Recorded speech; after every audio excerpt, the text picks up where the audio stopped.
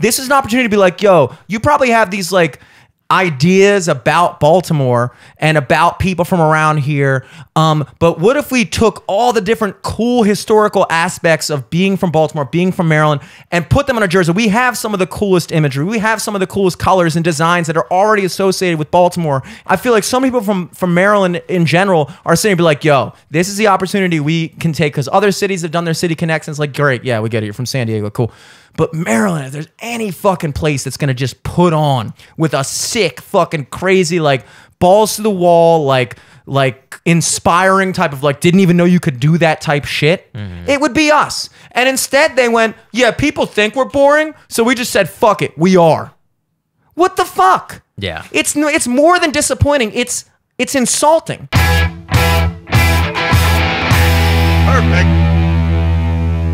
The Baltimore Orioles just released Oh, the the but they're only playing in it once, right? I think they play in it like I think it's like technically supposed to be like our new alternate for the year. I think we wear it on like three separate games. I didn't know that, and I wish I did know that before I decided to get really angry. Yeah, I thought it was like a whole new redesign. And I was like, damn, this sucks. But then I realized it was like a money grab. Mm-hmm. And I don't really care anymore. Yeah, it just It just doesn't look good. it doesn't at all. And of course, you know, I can always count on Joey to have the exact opposite opinion of me. But he made a whole TikTok about how he thinks it's kind of dope. And uh, I like the idea. Like I like how they're like, let's make a camo pattern out of all the different neighborhoods in Baltimore. But like the average Joe who's looking at that shit is not gonna understand that's what it is. yeah, absolutely not. And also, it looks like they tried to make like a pride uniform, but then like fucked it up. that is, it's like. Let me see if I can pull up the most. and there's like nothing wrong with it because they did a pride uniform. Like most teams do proud pride uniforms now. It's not like it. I'm not trying to do, make it a dig or anything, but it it legit looks like this was like their second draft of a pride uniform, and they forgot to make whatever this was meant to be. Here we go. I'm gonna take a piss real quick. Yeah, yeah, yeah. All right. So we've pulled up that you can see what that looks like. You can also see what my Safari looks like there. So basically, this is uh, a all black for anybody listening. It's an all black jersey with uh, just in plain white font. First of all, they have uh, it's all black jersey, all black pants, and they have a white belt with black shoes. Now, a major fashion faux pas, and I'm no fashionista, even though we spent the first 30 minutes of this podcast talking about fashion. Uh, and if if there's any dead giveaway of how much I don't know about fashion, uh, it's that segment. Um, white belt. The belt is supposed to match the shoes. Look, if you're if you're a grown adult, especially grown man, because there's way more rules for fashion for women. So many rules you couldn't even imagine. There's so many different things you can wear as a woman. You see a girl buy a top, and it's just like like they don't even call them shirts; they call them tops because you could literally buy a scarf and then like there's some like weird way you're supposed to tie it around your shoulders and stuff and it's a shirt. It's like there's so many things like all men really have to know is don't ever button the top button of a uh, sports jacket.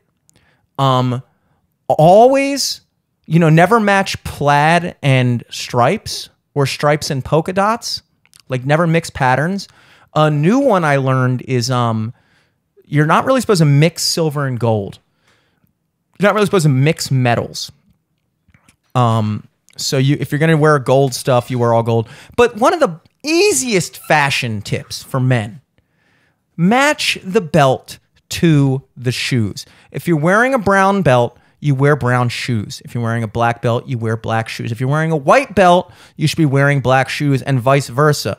We are wearing a white belt, and you can't see it from this picture, but trust me, they're wearing black shoes.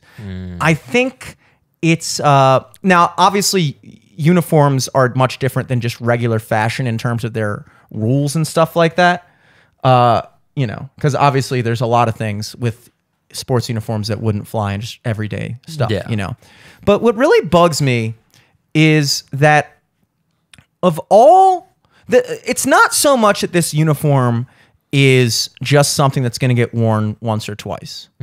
it's the concept that these uniforms were invented or the whole purpose of this what they call city connect program is uh, it's run by nike because i forget who is the actual person who makes all the jerseys for mlb but it's not nike so nike Hmm. Was has like Mitchell and Ness, or i don't know I know they do basketball jerseys. i think it's one of like the big ones like something with an r reebok or maybe something like that i don't know Oh.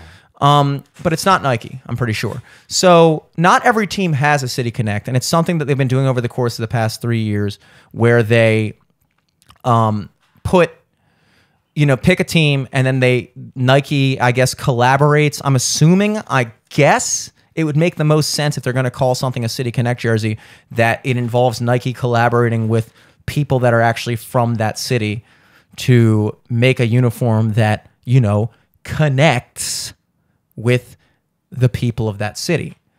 And so my whole kind of angle of looking at it and why I was so angry is that to me, when you have a city like Baltimore in a state like Maryland with a baseball club like the Orioles, which all encompass, I mean, forget about the Orioles being one of the longest establishment uh, longest established teams in the major leagues not the longest, but one of them. We're we've been around. We've been around. We have a lot of history. We've had a lot of great players.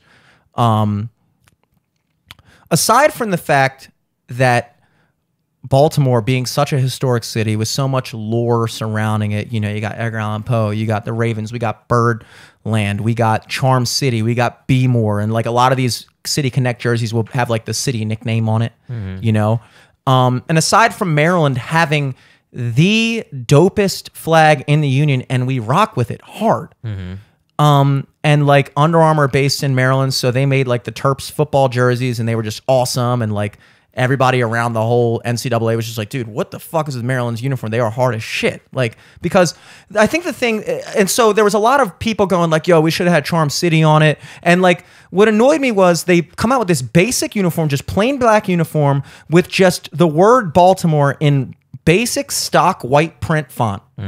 And then they have a hat that's just like a cursive B, which A annoys me because it's like, dude, Boston already has the B. Yeah. You see people walk around with a Red Sox hat, it's just the B. And I think that they're trying to like, it's like a, but it's like, it's nothing special about the B. It's just like a cursive B. Yeah. You know, it's literally just the B that like every baseball uniform, basically, most of them have the same font, that like baseball font with like the sophomore font. Yeah. Just the fucking like underline with the thing. And it's like, that's the B from that font. So you basically just took the B from that font for better or worse, uh, worse, and just put it on the cap. Mm-hmm. And then instead of incorporating anything that had to do with like the the state of Maryland or whatever, they designed the inside of the jersey. Yeah. With like You're never gonna see that. A colorful you know it was in the print of like the neighborhoods of baltimore which i guess okay that's something but like what like what bugs me is like it's so apparent. What bugs me is you'd you'd probably be the only one to recognize that because I remember you used to draw like the county lines for Maryland from Yeah. memory and shit. sure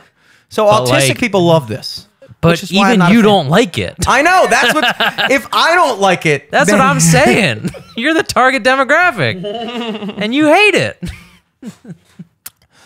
and they, they- so basically what annoys me is like i saw the leaks beforehand and i was perturbed to say the least but then when they actually release it they do this whole thing where they go like they have like a slide and they have like pictures of the different players wearing it and like then they have like these like explanations like why they made certain decisions. So like the first thing that's annoying is like we decided to go with just baltimore in plain font because baltimore doesn't need to hide behind a nickname. We are baltimore and we're proud of it. And Yeah. so it's like okay but we already have a jersey that says baltimore on it. It's called our jersey.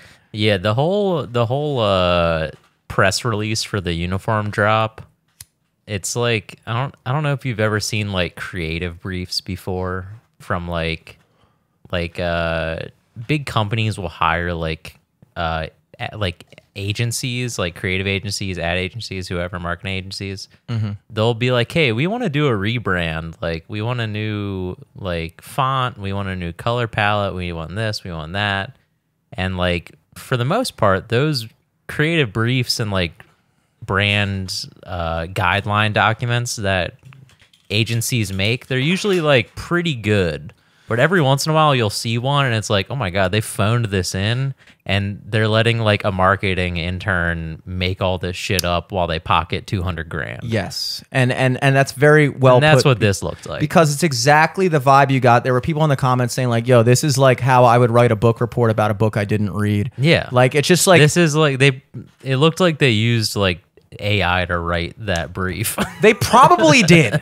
And like so like oh we don't hide behind a nickname. And then they have like, you know, and the reason why they have the cuffs on the outside are black and white or grayscale and then the inside is color was like because that represents what people think about Baltimore but on the inside we know and it's like yeah but dude this was an opportunity to show people Yeah. just how dope Baltimore and people of Maryland and that whole culture and like who we are. This is an opportunity to be like, yo, you probably have these like ideas about Baltimore and about people from around here. Um, but what if we took all the different cool historical aspects of being from Baltimore, being from Maryland, and put them on a jersey? We have some of the coolest imagery. We have some of the coolest colors and designs that are already associated with Baltimore and Maryland. And and instead of going like, yo, this is our opportunity, like I feel like some people from from Maryland in general are saying, be like, yo, this is the opportunity we can take because other cities have done their city connections. Like, great, yeah, we get it. You're from San Diego, cool. But Maryland, if there's any fucking place that's gonna just put on with a sick, fucking crazy, like balls to the wall, like like inspiring type of like didn't even know you could do that type shit, mm-hmm. it would be us. And instead they went, yeah, people think we're boring, so we just said, fuck it, we are. What the fuck? Yeah. It's it's more than disappointing. It's it's insulting. It's insulting to insinuate or to suggest that a city connect program that is made to capture the essence of a city and the essence you captured was this. You shouldn't be allowed to do that. Yeah. Just like I said, you shouldn't be allowed to foster an allegiance and loyalty from a certain metropolitan area by saying, we're the Oakland Athletics, we're the this, we're the that, we're the Baltimore Colts. And then at the drop of a hat, just be like, psych, we're moving. Because you've made money and gotten tax benefits and built stadiums and done all this shit and completely altered the face of the city for your private business, only to go, "Ah, we're done with it now. We're moving somewhere else. Oh, you were a Colts fan. You were a lifelong Colts fan. You have memories of going to the the uh, games with your grandfather. Fuck that. Who cares? We're going to Indy. yeah, Yeah, you actually did that in Indianapolis. Not that actually happened in Indy. You didn't re- you didn't realize that, but that was actually You're, you're so young, you don't remember, but you crossed state lines to do that. multiple states. So you shouldn't you shouldn't be allowed to do something that stupid and pitch it as something like that. And then they like I said they have the cursive B up top and it just I think what annoyed me more is like I think when they do these City Connect things, they you know, I think when they came to ball, I think I, I smell MICA. I smell MICA. I think there were some art students who decided, hey, you know what we should do? Instead of taking something that is relevant to a sport and the fun aspects of the city and all the cool aspects of being a Marylander that represent the spirit of baseball, a positive, fun thing that's supposed to make everyone happy and create great memories, instead of creating something that appeals to that and captures that side of our city and our state. Let's make some type of I'm sorry to say it, I smell a little bit of like that like there's a little bit of like social commentary going on in there. I it's don't hard. even I wouldn't even say that. It's uh if someone at MICA did it, it would have looked a lot better. This is like a I think it's like how you go look at like modern art and it's like they're like uh it's like that art exhibit where they like tape the duct tape the banana to the wall Yeah. and it's like do you get it it's basically like it's basically like uh a take on how ridiculous this all is that like I could literally take a banana and duct tape it to a wall and that's like the point. It's like you have to get it. And I feel like this uniform they were going at it from this standpoint was like you kind of have to get it. You have to understand like you have to really understand Baltimore to get it. It's like dude, we get it. We're from here. We want other people because the only thing that other people that aren't from Baltimore ever hear about Baltimore is this shit. Yeah. Well, I and so this opportunity to be like, hey, we're not just the crime-ridden city. We're actually pretty dope, and we actually we're not just a boring city. We actually have a lot of culture and stuff here. So this is an opportunity to be like, oh, you thought Baltimore sucked? It's a shithole, and all you hear about when you turn on the news is crime and blah blah blah blah. This is an opportunity to be like, actually, people in Maryland are really stoked to be from here, and it's you know, eh, what's that statement when you oh, we're the first team to ever design the inside of a uniform? That's a statement. That's They're so saying dumb. yeah, it's dumb. oh, you know, Baltimore has been the the site of many new innovations and inventions and stuff like that. So that's why we took this opportunity to become It's the first even team. like what would have been cool is if it was like reversible. That would have been cool. That would have been cool. And so it's like you get this sense of like somebody trying to do something that was like a social commentary, trying to make it like this big metaphor, trying to make it this deep concept that captures the inner strife and blah, blah, blah, blah. And I'm sorry, you fucking missed because that's not that's not what this is about. And not everything has to be about that. Sometimes it's just supposed to be fun, and it's an opportunity. to- cool. or cool, fun or cool. Look, if you did Or it look good. or look good, that's really the main thing, That's all it has to be. you know. And it's just they took like they they did nothing with the bird, so it's like okay, so that's like a fun aspect. Like look at our logo, look at even the Orioles logo. It's it's it's emits this kind of like we're just chilling. It's a bird. Like the raven is like I'm gonna fucking eat your ass, and the Oriole's like what's up, dude? Yeah. I'm smiling. The Orioles like Mickey Mouse. Yeah, he's chilling. He's having fun. He's having a good time, baby. He's at Camden Yards. He's having fun. Buy him some peanuts and Cracker Jacks. So you get rid of that, and you go, nah, dude. Plain white script. Time. Give me, give me, like I said to Joey, dude. Give me fucking ten minutes in Microsoft Word, and I'll get you that fucking design. It's fucking bullshit, dude. It's fucking bullshit. And like I said, it's more than disappointing. It's insulting. Look, my chill era is dead. I, I envy that Joey is so chill that he kind of doesn't like it, but he he's he's a fan, you know, and I love that about him, dude. He he fucks with Baltimore, he rides with Baltimore, and so he's gonna support them regardless because he's mm-hmm. chill. I'm just not chill, dude. I'm done. I, I can't do it anymore, dude. If I see something that like I take personal offense to, I gotta let it out, man. My man went to a dry cleaner once and lost his chill. I gotta let it out. I gotta let that hate out, man.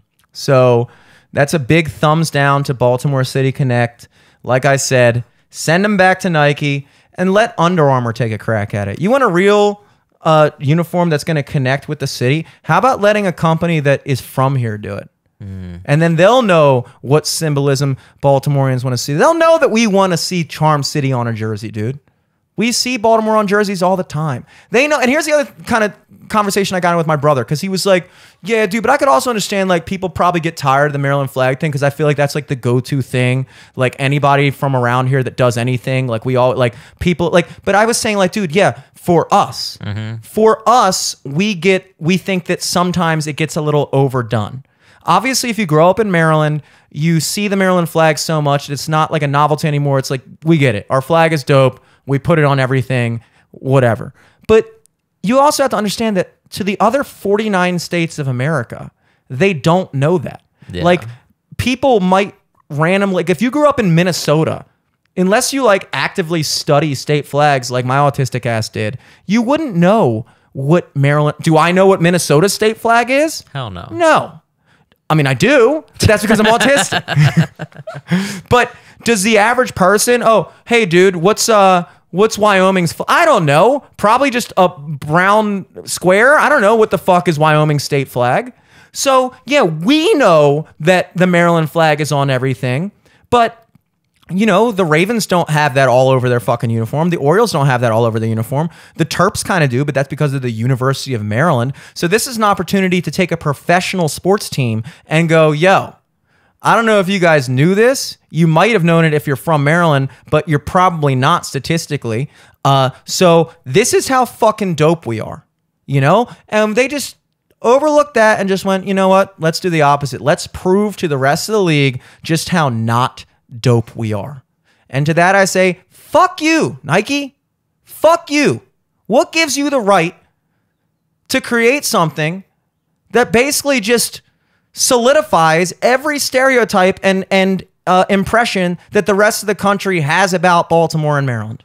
That's bullshit.